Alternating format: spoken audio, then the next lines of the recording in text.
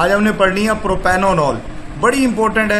इसको ना beta blocker इंडीरॉल के नाम से आईसीआई कंपनी की बड़ी मशहूर दवाई है।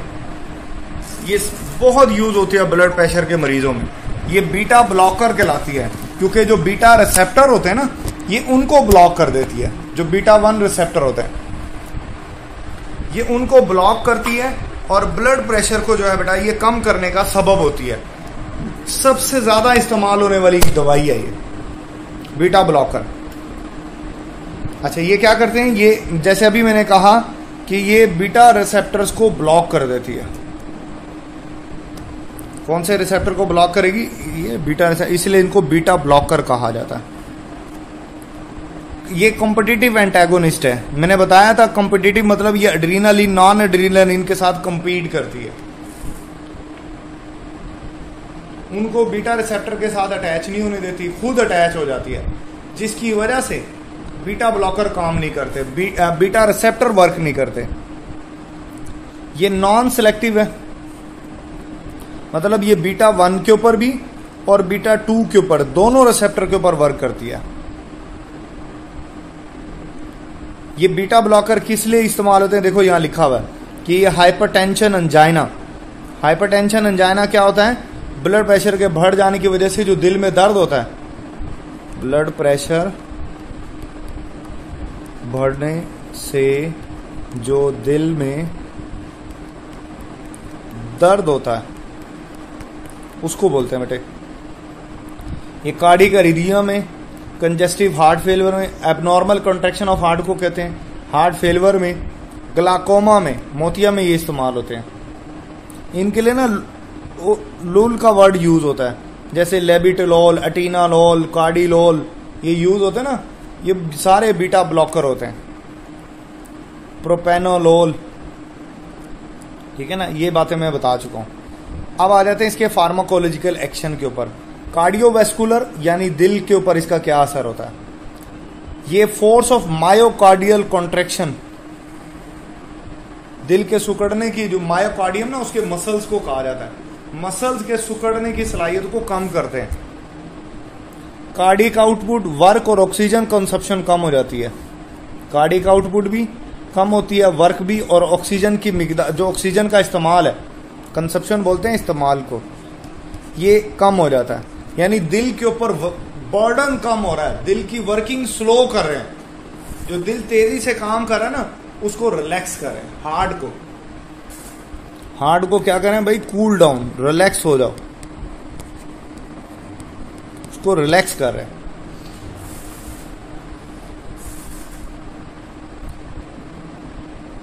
ये अंजाइना अंजाना दिल के दर्द को कहा जाता है। और हार्ट फेलियर में इसका बहुत इस्तेमाल है। बेटा, ये ना बीटा रिसेप्टर ना आपके फेफड़ों में लंग्स में भी होते हैं। वहाँ पे ये ब्रोंको कंस्ट्रिक्शन कर देता है। यानी सांस की जो नाली होती है ना,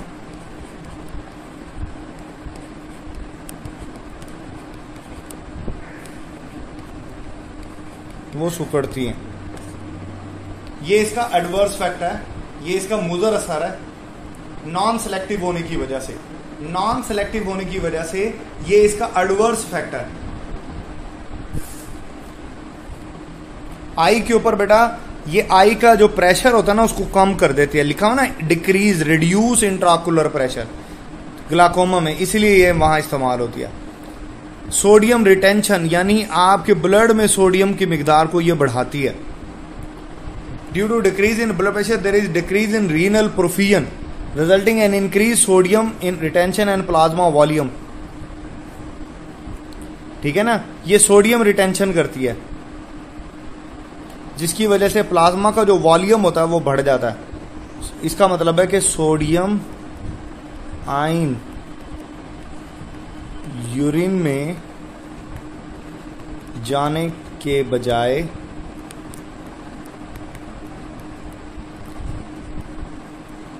प्लाज्मा में इकट्ठा होता है। इसको कहते हैं सोडियम रिटेंशन। प्लाज्मा में इकट्ठा होना। ठीक है ना? इसको बोलेंगे सोडियम रिटेंशन और ये ग्लूकोज को भी टूटने के अमल को भी ये डिस्टर्ब कर देता है। ग्लूकोज सक्रीशन कम हो जाती है। इसलिए जो शुगर का मरीज़ होता है ना डायबिटिक टाइप वन वाला होता है, ठीक है ना? उसको बड़ी एहतियात के साथ देनी चाहिए। शुगर के मरीज़ में इसका इस्तेमाल एहतियात से करें, क्योंकि ये ग्लूकोज की सक्रीशन को कम करता है। ग्लूकोज की राह में रुकावट आई है।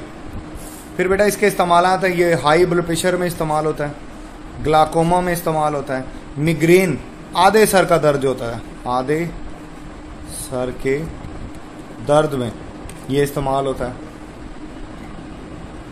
प्रोफाइलेक्टिकली ये इस्तेमाल होता है।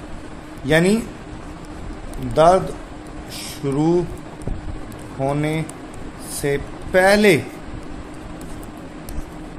जो इस्तेमाल होगा ना, उसको कहते हैं प्रोफाइलेक्टिकली। प्रोफाइलेक्टिकली इसका इस्तेमाल होता है। बाकी अंजाइना दिल के दर्द में ये यूज़ होता है। मुजर असरात में ब्रोंको कंस्ट्रिक्शन बता चुका हूँ, सांस की नाली का सुखड़ना ग्लूकोज मेटाबॉल सेक्सुअल इंपेयरमेंट करता है। मतलब सेक्सुअली बंदा अनफिट होना शुरू हो जाएगा। सेक्सुअली उसमें कमी आना शुरू हो जाएगी। अगर वो मुसलसल प्रोपेनोनोल खा रहा है, मुसलसल जो है ये साल्ट अगर वो इस्तेमाल कर रहा है, ठीक है ना? वह हार्मोनल सक्रेशन को ये डिस्टर्ब करती है ये दवाई। जिसकी वजह से ये प्रॉब्लम आना शुरू हो सकता है। बेटे, आज के लिए इतना ही। बस इतनी हिम्मत थी। अगली दवाई का रेजर पीन कल पढ़ाऊँगा। या पढ़ा देता हूँ, ये भी, छोटी सी है। पढ़ लो ये भी, ये हिस्सा मुकम्मल हो जाएगा।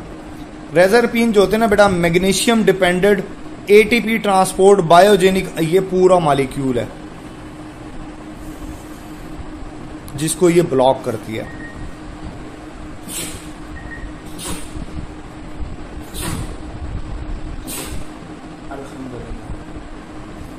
Magnesium ATP dependent transport, biogenic amine को ये क्या करती है? ब्लॉक करती है। जिससे norepinephrine dopamine serotonin cytoplasm में जो है ना वो इकट्ठे होना शुरू हो जाते हैं। वेजिकल्स स्टोरेज में जो है ना वो बढ़ जाती है। ब्रेक नहीं होता ये वेजिकल्स में से। मैंने बताया था ना कि ये साइनेप्टिक वेजिकल्स में यूँ होते हैं। इनमें इकट्ठ, इनमें ही रहेंगे, बाहर नहीं निकलेंगे।